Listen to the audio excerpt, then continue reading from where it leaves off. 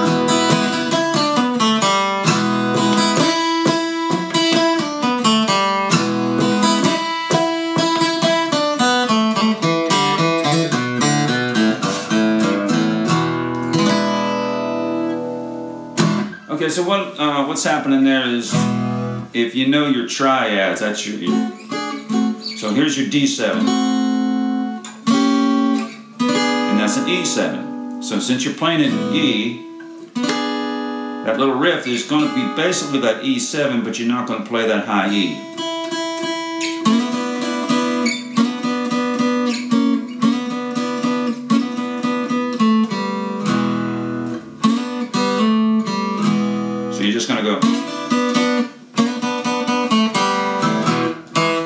Just kind of keep that rhythm going.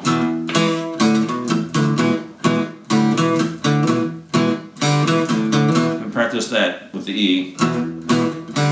Pick up the E, put it back down again.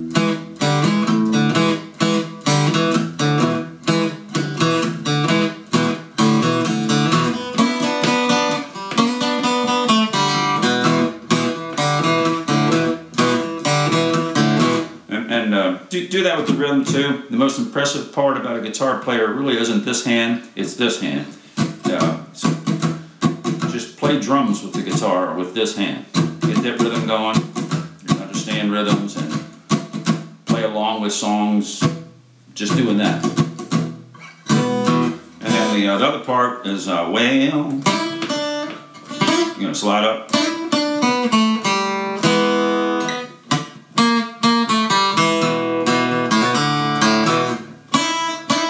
And you can hit that at high E open.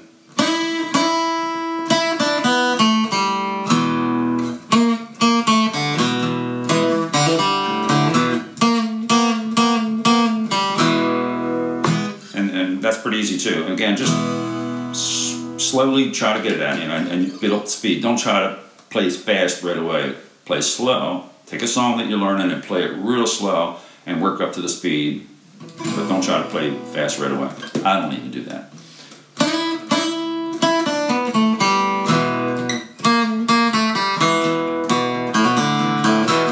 And then the other part where he's going, uh, Up in Cody's camp, I spend my days long. and that's basically, again, your triad. So here's your D shape. That would be a G. But all you're going to do is play the bottom two strings of that and push up on them.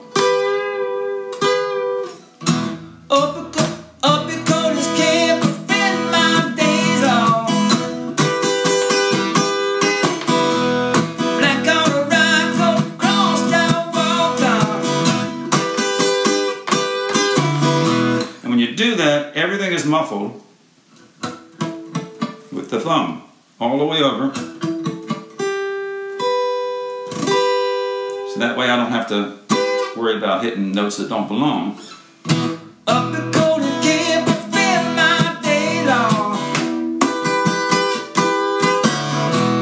Uh, and then you just play the rest of it as I just demonstrated.